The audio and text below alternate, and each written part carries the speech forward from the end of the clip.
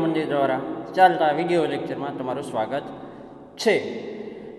Video જો બાળકો ગમતા હોય, અમારી મહેનત હોય, તો બાળકો શેર કરો સબસ્ક્રાઈબ કરો આ જ વીડિયો બરાબર? જેથી બીજા વિદ્યાર્થીઓને પણ લાભ મળે.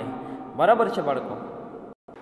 ગયા લેક્ચરમાં આપણે વસ્તુઓના જૂથ બનાવ્યા હતા. બરાબર? આજે એનો સ્વાધ્યાય જોશું આપણે બાળકો. બરાબર?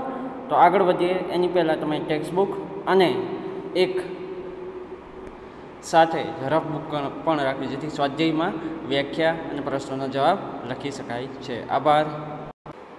લાકડાથી બનવા, બનાવવામાં સ્વાધ્યાયમાં પહેલો પ્રશ્ન છે, લાકડામાંથી બનાવવામાં આવતી પાંચ વસ્તુના નામ જણાવો.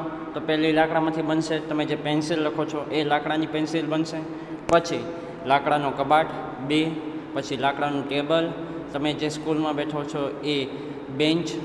પછી ચોથો નંબર, તમારો લાકડાનું ફર્નિચર એટલે કે લાકડાની તમે સેટી, ખાટલા, બરાબર છે? એ સિવાય લાકડામાં તમે રસોડામાં પણ તમે ટેબલ, ખુરશી બનાવો છો. એ સિવાય લાકડાની બનાવતી વસ્તુઓ તમે વિચારો તો જોઈ કે કબાટ પણ બનાવો છો આપણે, લાકડાના, રસોડાના. એ સિવાય તો લાકડાના બોર્ડ બને છે. બરાબર બાળકો? આ લાકડામાંથી બનાવતી પાંચ વસ્તુ થઈ. એ સિવાય પણ તમે આમાં નામ લખી શકો છો. બરાબર, આગળ વધીએ. નીચેનામાંથી ચળકતા, પ્રશ્ન નંબર બે નીચેનામાંથી ચળકતા પદાર્થોની પસંદગી કરો. હવે આમાંથી ચળકતી વસ્તુ તમે કઈ દેખાય છે બાળકો? તો એક તો આપણે કાચનો પ્યાલો ચળકે અને સ્ટીલની ચમચી ચળકે છે. બરાબર બાળકો? હવે જોઈએ. પ્રશ્ન નંબર ત્રણ, નીચે આપેલ વસ્તુઓને જેમાંથી બનાવવામાં આવે છે તે પદાર્થ સાથે જોડો. યાદ રાખો કે કોઈ એક વસ્તુ એક કરતાં વધારે પદાર્થોમાંથી પણ બની શકે છે અને આપેલ પદાર્થનો ઉપયોગ ઘણી બધી વસ્તુઓ બનાવવા માટે પણ કરી શકાય છે. હવે પહેલી વસ્તુ, તો પહેલી વસ્તુ છે પુસ્તક. તો કાગળમાંથી બને, બરાબર છે? પછી પ્યાલો. તો પ્યાલો શેમાંથી બને વિચારો જોઈએ બાળકો? તો પ્યાલો તમે કાચમાંથી બનાવી શકો અને પ્લાસ્ટિકમાંથી પણ બનાવી શકો. પછી ખુરશી. તો ખુરશી કેમાંથી બને? લાકડામાંથી બને. બરાબર છે, પ્લાસ્ટિકની ખુરશી પણ આપણે જોઈ છે. રમકડા, તો રમકડા કેમાંથી બને છે બાળકો? તો રમકડા બને છે કાગળમાં લાકડામાંથી પણ બને અને રમકડા બને પ્લાસ્ટિકમાંથી પણ બને. બરાબર બાળકો? હવે ચપ્પલ, તો ચપ્પલ શેમાંથી બને છે? તો ચપ્પલ છે બાળકો એ ચામડામાંથી બને છે. તો ફરીથી જોઈએ બાળકો આપણે. તો પુસ્તક, તો પહેલાં પુસ્તક કેમાંથી બનશે? કાગળમાંથી બરાબર છે? એટલે કે પુસ્તકમાંથી કાગળમાંથી બને છે? પછી પ્યાલો, તો પ્યાલો કાચનો પણ બને અને પ્લાસ્ટિકનો પણ બને છે. બરાબર? પછી ખુરશી, તો ખુરશી શેની શેની બને છે? ખુરશી બાળકો, એક તો લાકડાની પણ બને અને ખુરશી પ્લાસ્ટિકની પણ બને છે. હવે હું કહું રમકડું? તો રમકડા કાચના પણ બને અને રમકડા પ્લાસ્ટિકના પણ બને છે. ચપ્પલ તો ચામડાના જ બને બાળકો. બરાબર છે? અને એ સિવાય તમે વિચારો તો ચપ્પલ શેના શેના બની શકે. તો આપણે રામાયણ જોઈએ છે તો એમાં પગરખા રામ ભગવાનના શેના બન્યા હતા, લાકડાના જ બન્યા હતા. નીચે આપેલા વિધાનો સાચા છે કે ને ખોટા તે જણાવો. જોઈએ આપણે. પથ્થર પારદર્શક હોય છે. પથ્થર કોઈ દી પારદર્શક જોયો બાળકો? જ્યારે કાચ અપારદર્શક હોય છે તો આ ખોટું છે. નોટબુકમાં ચળકાટો છે. જ્યારે રબરમાં નથી હોતી આ ખોટું છે. નોટબુક કોઈ દી ચળકાટવાળી જોઈ તમે? ચોક પાણીમાં દ્રાવ્ય છે. એના કણો પાણીમાં દ્રાવ્ય થઈ જાય ઉપર ચરે છે. લાકડાનો ટુકડો પાણી ઉપર ચરે છે. સાચી વાત છે બાળકો? ખાંડ પાણીમાં દ્રાવ્ય થતી નથી ખાંડ તો પાણીમાં ઓગળી જાય ને આપણે લીંબુ શરબતમાં ખાંડ ઓગળી નથી જતી કે પછી એમ રહે છે, સાચું છે? તેલ પાણીમાં મિશ્રિત થઈ જાય છે. તેલ પાણીમાં મિશ્રિત નથી થતી બાળકો. પરંતુ તેલ શું કરે છે? એનું સ્તર બનાવે છે. એટલે કે આ ખોટું વાક્ય છે. રેતી પાણીના તળિયે બેસી જાય છે. સાચી વાત છે. સરકો પાણીમાં દ્રાવ્ય છે. મિશ્રિત થઈ જાય છે. દ્રાવ્ય થતો નથી. ખોટી વાત છે. પ્રશ્ન નંબર પાંચ. નીચે આપેલી કેટલીક વસ્તુઓ તથા પદાર્થોનું નામ આપેલા છે. જેમ કે પાણી, બાસ્કેટબોલ, નારંગી, ખાંડ, પૃથ્વીનો ગોળો સફરજન, માટીનો ગોળો તેને આ પ્રકારે જૂથમાં વેચો ગોળાકાર અને અન્ય આકાર તો આકારમાં જોઈએ આપણે, તો બાસ્કેટબોલ છે એ કેમાં આવશે? તો એ ગોળાકારમાં આવશે. બરાબર છે? પૃથ્વીનો ગોળો ગોળાકારમાં બરાબર? માટીનો ગોળો, ગોળાકારમાં. બરાબર છે? હવે ખાંડ છે એ એમાં છે પાણી. ખાવાલાયક, નારંગી ખાવાલાયક, ખાંડ ખાવાલાયક એટલે કે ઓગળી, ઉગળી જાય છે. લીંબુ શરબતમાં સફરજન છે એ ખાવાલાયક છે. કેટલો ઇઝી પ્રશ્ન છે. તમે જાણતા હો તે પાણી પર તરતી વસ્તુની યાદી બનાવો. તપાસ કરી જુઓ કે શું તેલ તથા કેરોસીન પર તરે છે. તો પહેલું લાકડું. આમાં પહેલું કયું આવશે? લાકડું પાણી પર તળે તરે છે. જેમ કે આપણે મોટી મોટી વાણો, લા, અને નાની હોડકીઓ તરે છે ને લાકડામાંથી બનાવેલી. પછી પ્લાસ્ટિકની બોટલ, બરાબર છે. પછી સ્ટીલ છે, ભાર, હલકા સ્ટીલ છે, કે તરે કે ન તરે, આપણે પાણીની ડોલ છે, એ પાણી ભરેલું હોય તો સ્ટીલની અથવા તો સ્ટીલની અથવા પિત્તળની પાણીમાં તરે છે. પણ એ જો પાણી ભરેલું હોય તો તરતી નથી. હવે તમારે એ રીતે મેં તમને ત્રણ ઉદાહરણ તો આપીએ. લાકડું, પ્લાસ્ટિક, બીજા તમારે ત્રણ, બે ઉદાહરણ લખવાના છે. ઓકે. હવે નીચેમાંથી અસંગત વસ્તુઓ દૂર કરો. ખુરશી છે, પલંગ છે, ટેબલ છે, બાળક છે અને તિજોરી. ખુરશી, ટેબલ, પલંગ ને તિજોરી. એ બધી નિર્જીવ વસ્તુઓ છે બાળકો. બરાબર છે? બાળક સજીવ વસ્તુ છે એટલે બાળક અસંગત થયું, પછી ગુલાબ, ચમેલી, હોળી હજારા ગોટો અને કમળ. આ બધા ફૂલોના નામ છે, પણ હોળી નથી, એટલે એ અસંગત છે. પછી એલ્યુમિનિયમ, લોખંડ, તાંબુ, રેતી અને ચાંદી. તો આ એલ્યુમિનિયમ, લોખંડ તાંબુ અને ચાંદી. એ બધી ધાતુઓ છે. રેતી ધાતુ નથી એટલે એ અસંગત છે. પછી ખાંડ, મીઠું અને કોપર સલ્ફેટ. એ પાણીમાં દ્રાવ્ય છે, પણ રેતી પાણીમાં દ્રાવ્ય નથી. આ રીતે આપણો સ્વાધ્યાય પૂરો થયો. તમારે હોમવર્કમાં મને મોકલવાનો રહેશે. બરાબર? હવે જોઈએ આપણે પાઠ નંબર પાંચ.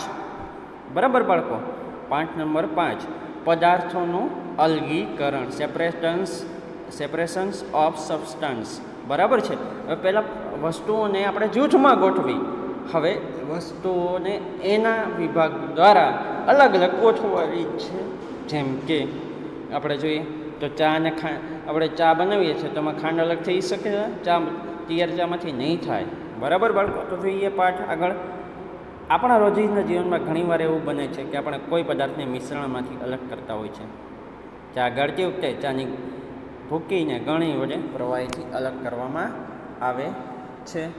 જેમ કે આપણે ચા પીએ તો ઘણી રેખે છે ને બાળકો? એ જ રીતે આપણે માખ દૂધમાંથી, દહીં, દહીંમાંથી, છાશ, છાશમાંથી, માખણ, માખણમાંથી દૂધ, આટલી બધી વસ્તુઓ દૂધમાંથી બને છે.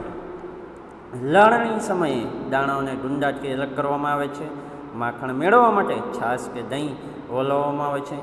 પ્રકરણ ત્રણમાં શીખ્યા મુજબ રૂમાંથી બીજને રેસામાંથી અલગ કરવા માટે પીંજવામાં આવે છે.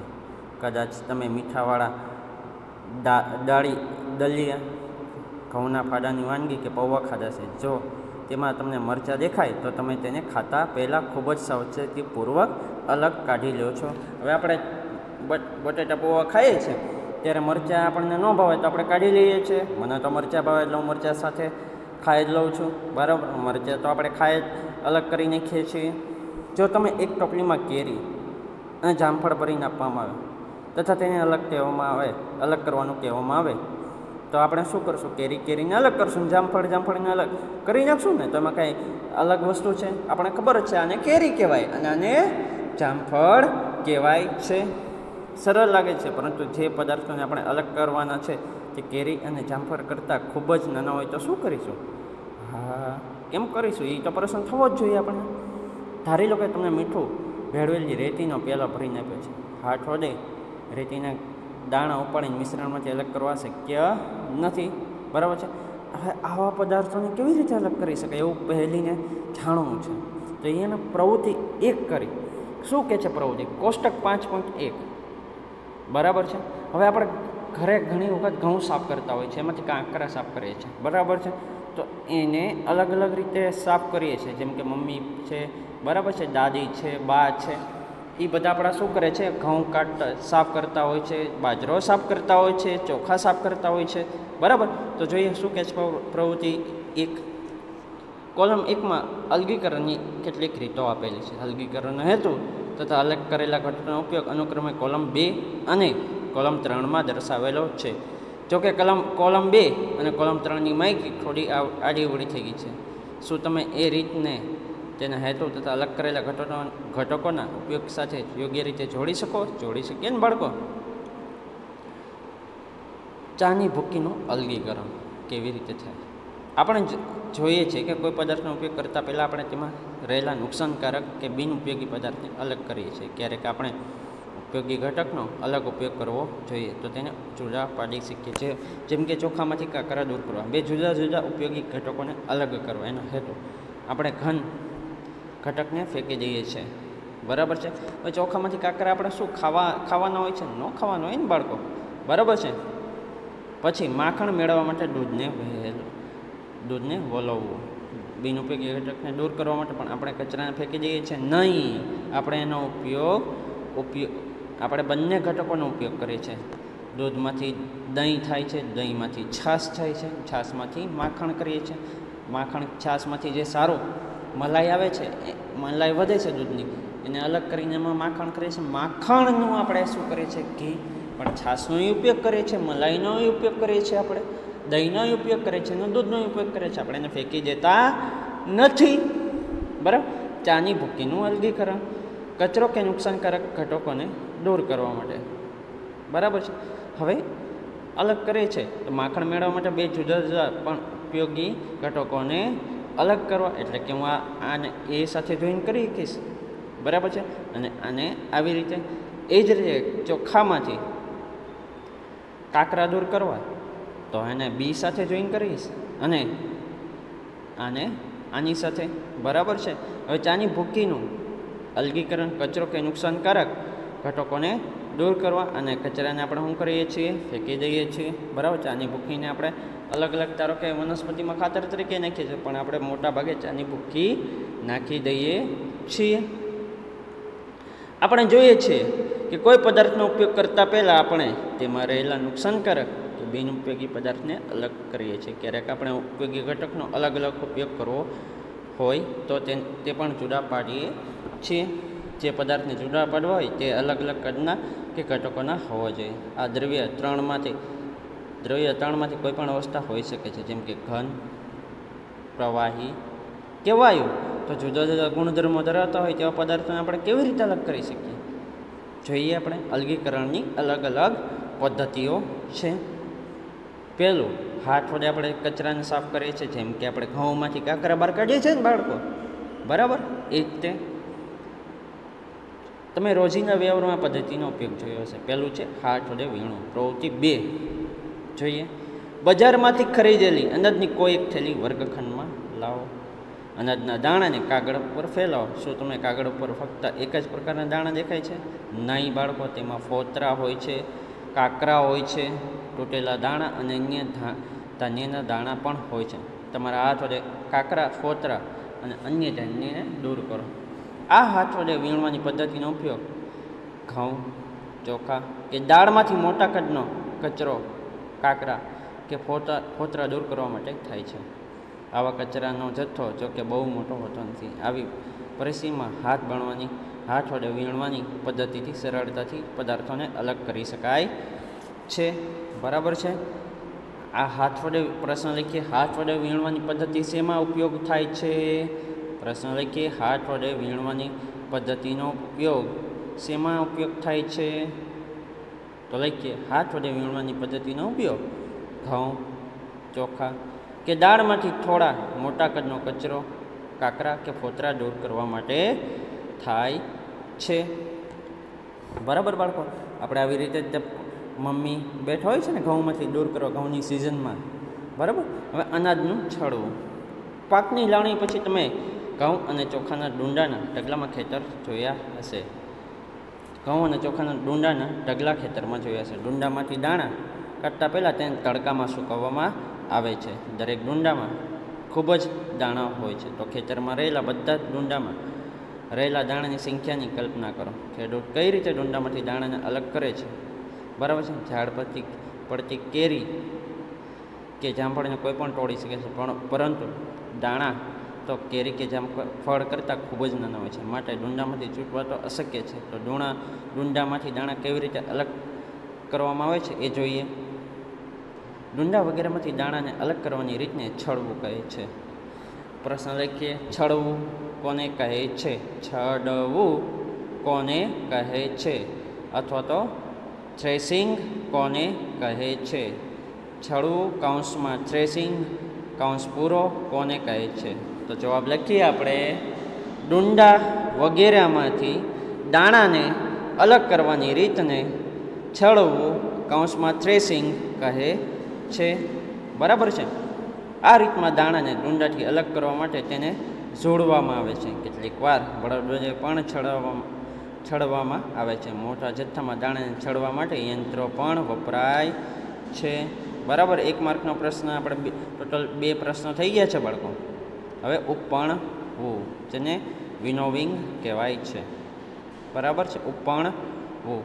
હવે પ્રવૃત્તિ ત્રણ જોઈએ આપણે, તો શું કહે છે? સૂકી રેતી સાથે લાકડાનો વેર કે સૂકા પાંદડાનો ભૂકો મિશ્ર કરો.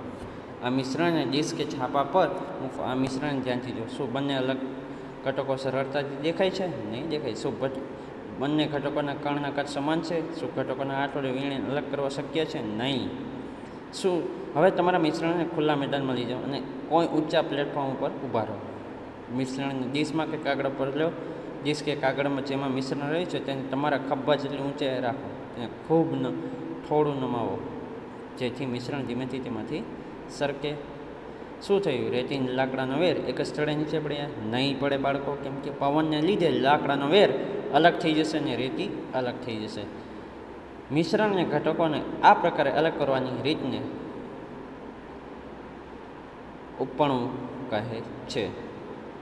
લખીએ ઉપણવું એટલે શું? પ્રશ્ન લખીએ ઉપણવું એટલે શું?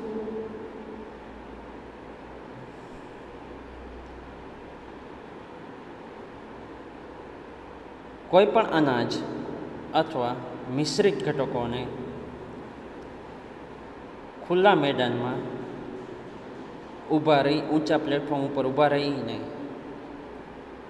મિશ્રણને ડીશમાં અથવા તો તાસમાં લઈને ખભા જેટલી ઊંચાઈએ થી થોડું નમાવી અને નીચે અને નીચે પાડવા દેવાની આ પ્રકારે અલગ કરવાની રીતને ઉપણવું કહે છે. ઉપણવાની ક્રિયામાં ભારે હલકા ઘટકોને પવન વડે કે ફૂંકાટી હવા વડે અલગ કરવામાં આવે છે. જે અહીંયા ઉપણું તમને દર્શાવવામાં આવ્યું છે.